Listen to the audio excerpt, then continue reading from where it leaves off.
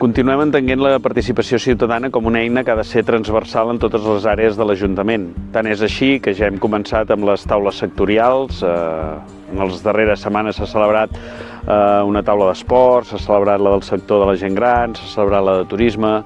Eh, també la, la participació de ciutadana ha de ser una eina per conèixer opinions en moments puntuals. Es va fer doncs, una enquesta a tota la ciutadania eh, per conèixer la seva opinió eh, sobre la festa major i, i, per tant, per poder continuar millorant eh, en funció del que pensen els nostres convilatants. Eh, també la participació de ciutadana és necessària i imprescindible en altres projectes. Ara s'està elaborant un pla de ciutadania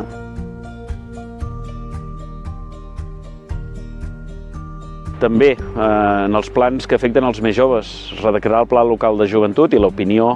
dels i les joves de Sant Hilari serà imprescindible per detectar aquelles necessitats d'aquest eh, col·lectiu.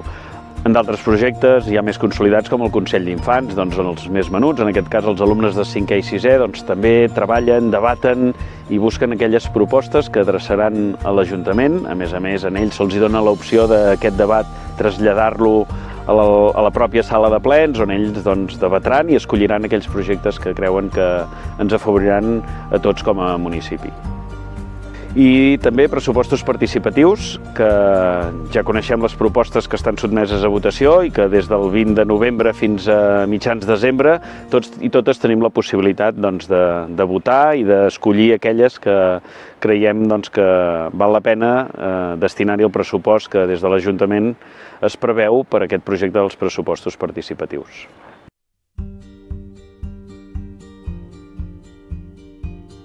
Aquest projecte de pressupostos participatius que va néixer amb, amb govern de, del PIC i creiem fermament que és una bona manera doncs, perquè la ciutadania eh, s'acosti a la política municipal, en participi i digui la seva, pensi eh, eh, en clau de què és el millor per tot el municipi i per tant animar a tothom doncs, de que valori què creu que